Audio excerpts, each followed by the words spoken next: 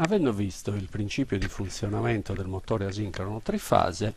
passiamo adesso a vedere il suo comportamento dal punto di vista elettrico. Quindi cosa succede a un circuito elettrico quando noi alimentiamo un motore asincrono trifase.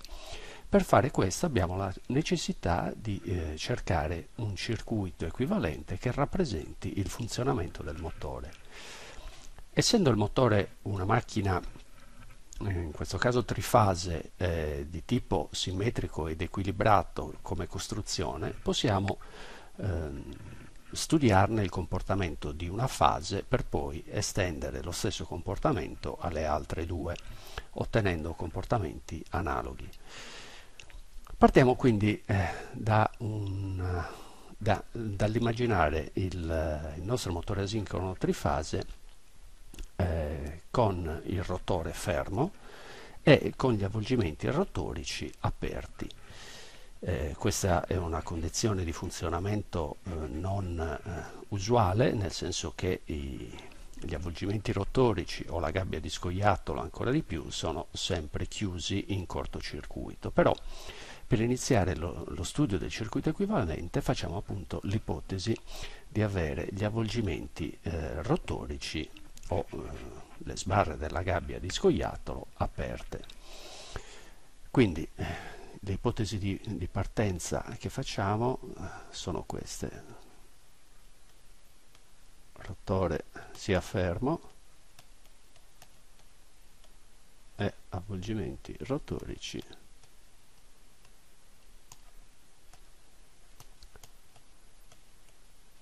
aperti. In queste condizioni il nostro motore asincrono trifase si comporta sostanzialmente come un eh, trasformatore, nel senso che eh, gli avvolgimenti primari eh, sono quelli statorici e eh, gli avvolgimenti del rotore costituiscono gli avvolgimenti eh, secondari del nostro eh, della nostra macchina simile al trasformatore. Quindi nella descrizione del circuito possiamo eh, partire appunto da una descrizione in cui immaginiamo il nostro motore con un comportamento ideale che possiamo semplicemente rappresentare con il circuito equivalente di un trasformatore ideale. Quindi questo è il nostro trasformatore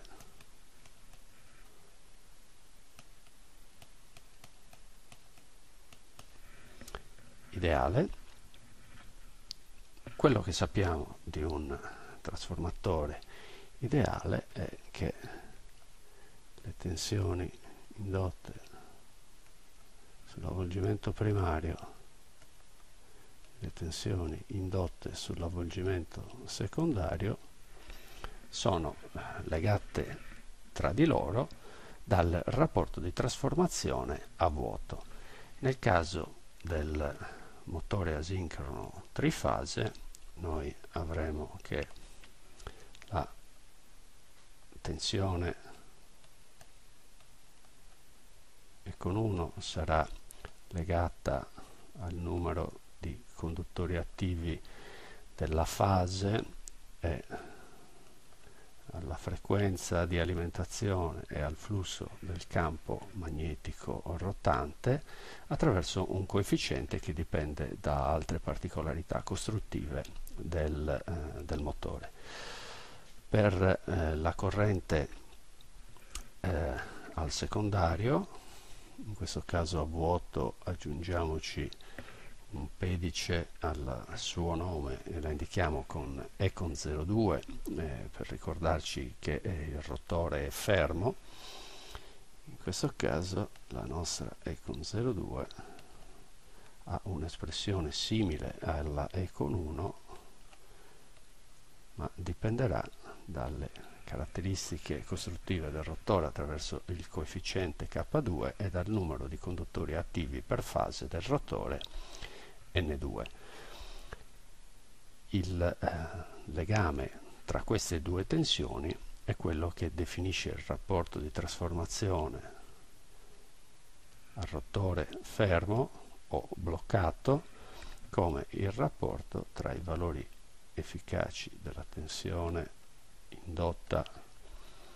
al primario, quindi agli avvolgimenti statorici,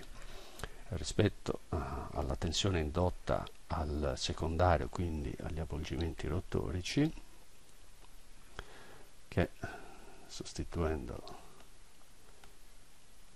le espressioni delle due tensioni, dei due valori efficaci, semplificando frequenza e, e flusso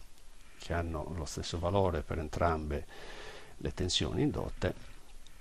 abbiamo questo rapporto.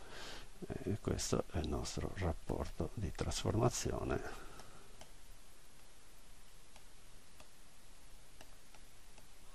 a rotore bloccato.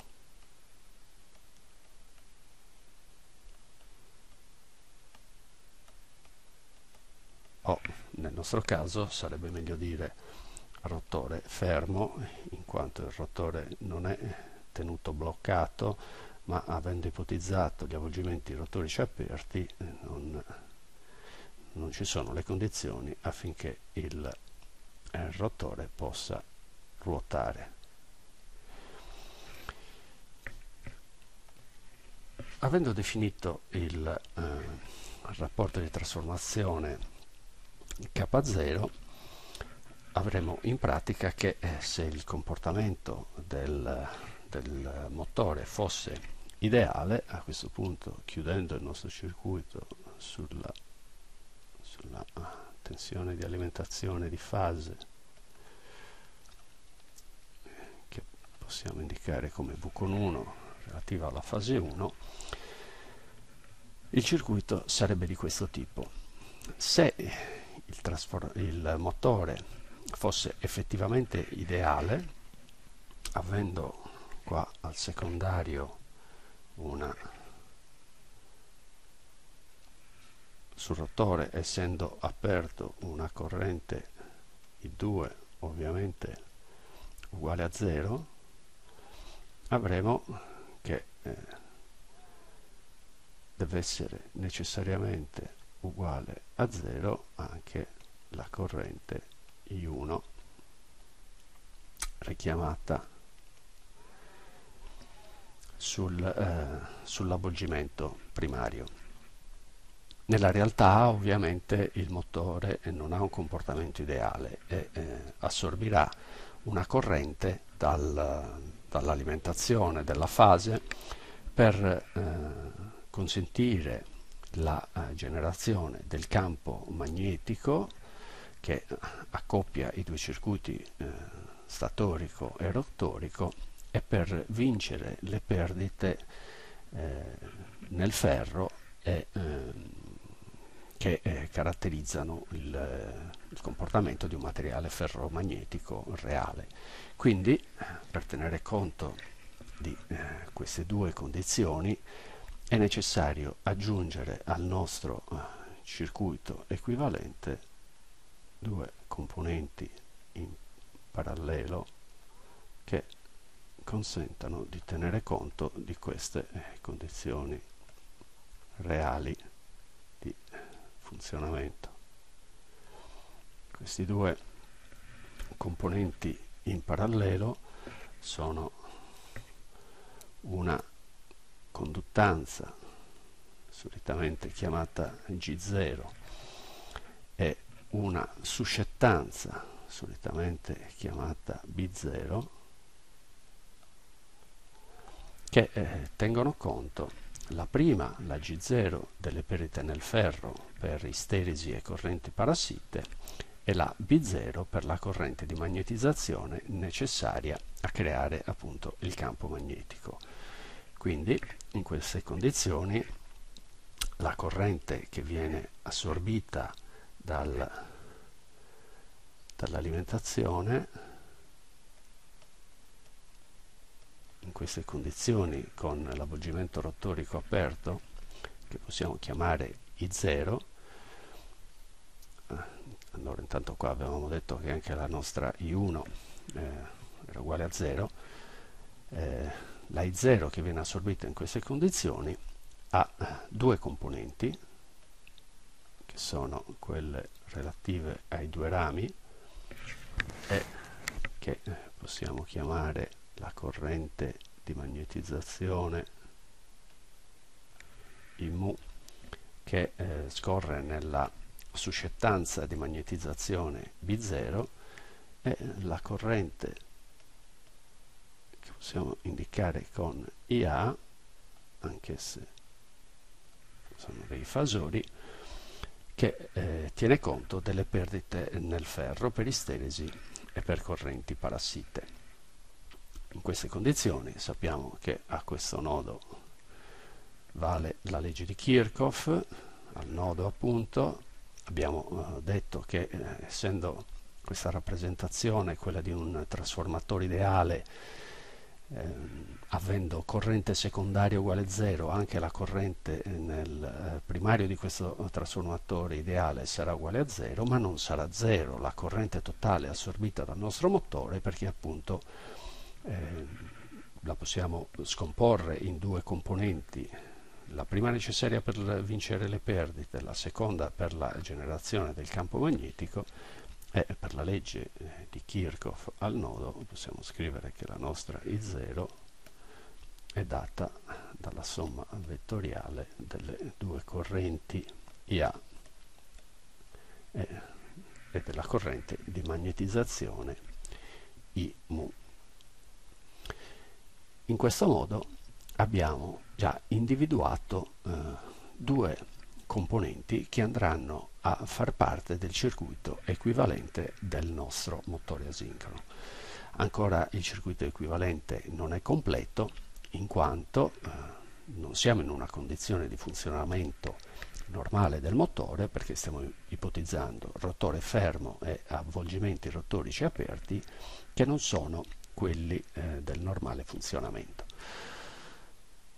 La determinazione di questi due parametri trasversali G0 e B0 viene fatta eh, mediante la misura, eh, la prova a vuoto del motore asincrono nella quale il rotore eh, la, viene lasciato libero di ruotare appunto senza carico, quindi a una velocità di rotazione prossima a quella di sincronismo che vedremo essere in una situazione di funzionamento che eh, si avvicina a questo comportamento ideale e che ci consentirà appunto dalle misure effettuate nella prova a vuoto di determinare eh, le, i parametri trasversali del circuito equivalente.